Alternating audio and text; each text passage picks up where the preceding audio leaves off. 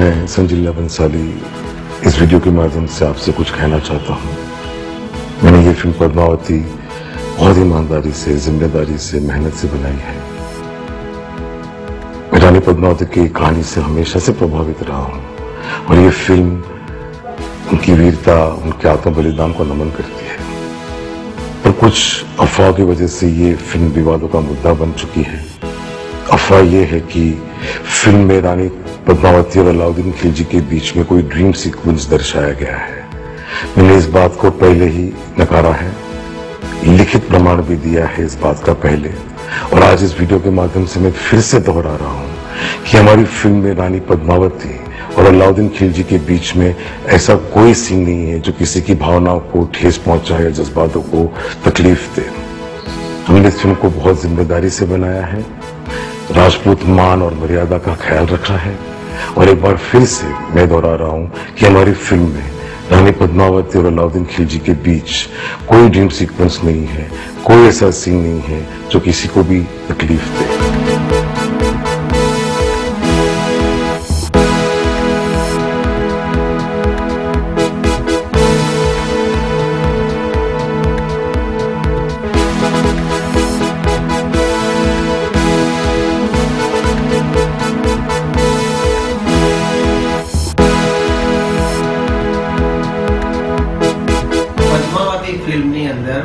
ઇતિહાસને તોડી મરોડીને રજૂ કરવામાં આવે છે તો તેના લીધે રાજપૂત તથા ક્ષત્રિય સમાજની લાગણીઓ દુભાઈ એમ છે તો આ પિક્ચરનું રિલીઝ ના થવું જોઈએ અને રિલીઝ થતાં અટકાવવી જોઈએ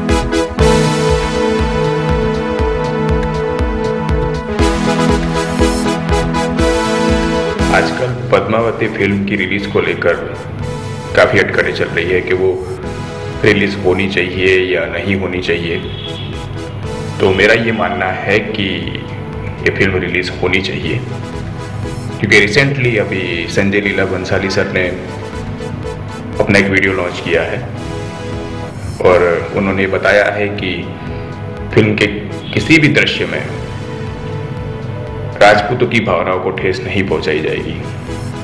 तो हमें उन पर विश्वास करना चाहिए। और हमें उन्हें सपोर्ट करना चाहिए।